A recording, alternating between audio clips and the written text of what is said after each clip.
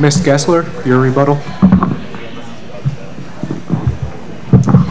Um, I would have to agree with Mr. Medis in the fact that if you do not know um, who exactly you need to speak to or what the problem solution is for the student, then you need to find out, you know, who can speak to the student, who can help them.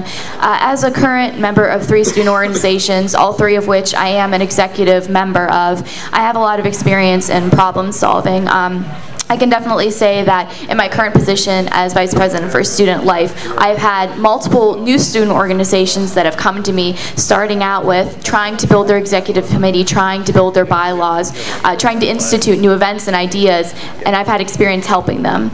It's not always easy to find, you know, the solution to this issue, so therefore, as Mr. Metis uh, stated earlier, having an- a good relationship with your executive committee, as well as the administrative staff and faculty of um, YSU, you can send the students to who they need to go to. Um, you need to utilize every strength on this campus, no matter what department it comes from at YSU, in order to best support each individual student and their goals for the future.